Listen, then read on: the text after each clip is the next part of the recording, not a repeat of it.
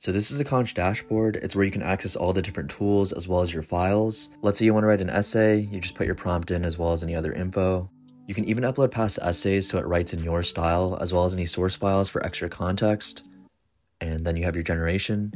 Let's say you want to cite a sentence, just highlight and then click cite, add citation, and as simple as that. If you scroll down, there's references.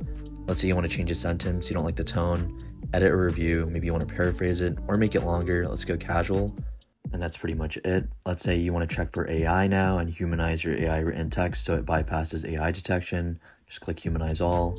It'll take a couple seconds and then it'll recheck it for you and show you that it bypasses AI detectors. Let's say you need to study for a test though, you can use our new study feature and generate flashcards as well as notes from both YouTube links files as well as live recordings. And then finally, you can also chat with any file. I'm just gonna upload $100 million offers by Alex Hormozi here. You have some example prompts and then you can just ask it whatever questions you need. Thank you again for using our tool and stay tuned for more features.